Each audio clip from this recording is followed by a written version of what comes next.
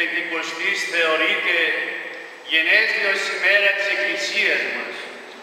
Το έργο της σωτηρίας των ανθρώπων δεν σταματά στην ανάληψη, έρχεται ο άλλος παράκλητος, το άλλο θείο πρόσωπο, το Πανάγιο Πνεύμα, για να παρατείνει το πιστό του αιώνας, να εντάξει τον άνθρωπο σε ένα καινούριο σώμα, να χορηγήσει σε όλους τη ζωή του Χριστού και να τους κάνει μετόχους της επουρανίου βασιλείας. Η Πεντηκοστή είναι η αφετηρία μιας νέας εποχής, η απαρχή του αγιασμού. Ιστορικά έλαβε χώρα μια φορά, λειτουργικά όμως λαμβάνει χώρα σε κάθε μυστήριο, σε κάθε αγιαστική πράξη και τελετή της Εκκλησίας, που δεν αποτελούν επαναλήψεις αυτής, αλλά φανερώνουν την υπέρβαση ιστορίας και την είσοδο του κόσμου στη διάσπαση ενός καινούριου άφθαρτου χρόνου. Είναι η ίδια Πεντηκοστή που συντελείται στη Θεία Λειτουργία, στη βάπτιση, στη χειροτονία, στο γάμο, στον αγιασμό και στα λοιπά μυστήρια. Όπως ακούμε στο ιδιόμενο του εσπερμού της εορτής, ο παράκλητος χορηγεί τα πάντα μέσα στην Εκκλησία, αναβλύσει ως αστήρευτη πηγή της προφητείας, τελειοποιεί τους ιερείς, διδάσκει τη θεϊκή του σοφία τους αγράμματος, αναδεικνύει θεολόγους τους απλούς ψαράδες της Γαλιλαίας, ανακαινίζει δίδατος στον παλιόν άνθρωπο, ενώνει η σάρκα μία, το ανδρόγυνο, μεταβάλλει σε σώμα και αίμα Χριστού το ψωμί και το κρασί, μεταμορφώνει τον αμαρτωλό σε Άγιο, θεώνει τον αγωνιστή και γενικώ συγκροτεί ολόκληρο το θεσμό της Εκκλησίας. Το ανάκροσμα από τις πράξεις των Αποστόλων μας λέγει ότι όταν έφτασε η ορτή εκείνη, η Εβραϊκή Πεντηκοστή, κατά την οποία γινόταν ανάμνηση της παραβολής της παραλαβής του Μωσαϊκού νόμου 50 ημέρες μετά την έξοδο από την Αίγυπτο. Οι μαθητές ήταν συγκεντρωμένοι με ομοιοψυχία στο ίδιο μέρος στην Ιερουσαλήμ.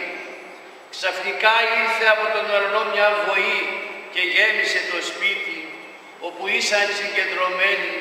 Τότε εμφανίστησαν πύρινες γλώσσες που κάθισαν επάνω στους μαθητές, τους οποίους άκουγαν να ομιλούν στις ιδιαίτερες τους γλώσσες και διαλέκτους Ιουδαίοι που δεν βρίσκονταν εκεί από διάφορα μέρη του κόσμου για την εορτή της Εβραϊκής Πεντηκοστής, εκ των οποίων άλλοι τους εθαύμασαν και βαπτίστηκαν και άλλοι τους θεώρησαν μεθυσμένους.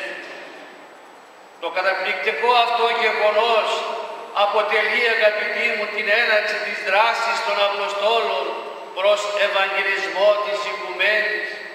Η πρώην δύναμη, φοβισμένοι και ντροπαλοί ψαράδες της Ιουδαίας γίνονται δυνατοί.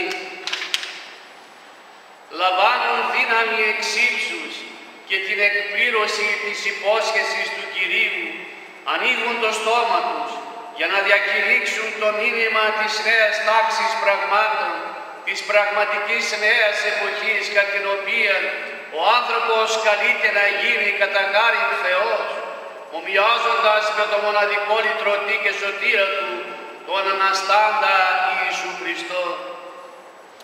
Όπως ο Κύριος, το Πανάγιο Πνεύμα κατέβηκε στο, στη Βαβέλ και συνέχεια τις ανθρώπινες γλώσσες, τότε επήλθε η διάσπαση της ανθρώπινες σχέσης και δημιουργήθηκαν τα διάφορα έθνη. Σήμερα όμως επανέρχεται για να καλέσει σε ενότητα, να επανενώσει όλα τα έθνη στην ενότητα και κοινωνία του σώματος Χριστού, την Εκκλησία και δείχνει θαυμαστό σημείο.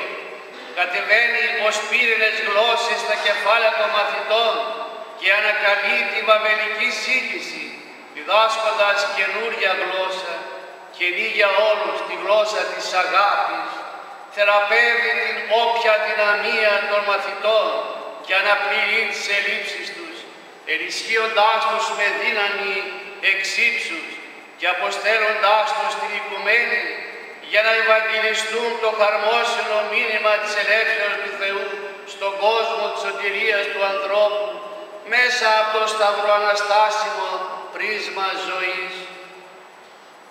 Ωστόσο οι μαθητές δεν είναι οι μόνοι αποδέκτες των δωρημάτων του. Όλοι καλούμεθα να ζήσουμε πνεύματι και αληθεία, να αποσχοληθούμε σε αυτό και να γίνουμε ένα πνεύμα μαζί του. Καλούμεθα να γκρεμίσουμε τους σύγχρονους βαβελικούς πύργους της ασεβίας και να καθαριστούμε από πάσης κυλίδος, να οικειωθούμε αυτό το Θείο, το Θείο Πνεύμα της Ενέσεως, να αρνηθούμε κάθε άλλο πνεύμα, πνεύμα πλάνης, πονηρίας, ψεύδους πλεονεξίας και πάσης ακαθαρσίας. Ας μη λυπήσουμε με την αμαρτία μας αδερφοί μου, τον Παράκλητο, το Άγιο Πνεύμα, γιατί χωρίς τη δική του χάρη και το έλεος θα γίνουμε εμείς αιωνίως αξιολύπητοι. Εορτάζει σήμερα και κερνάει, κερνάει χαρίσματα.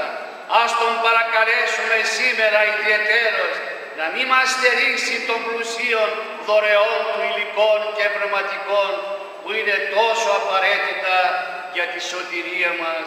Αμήν.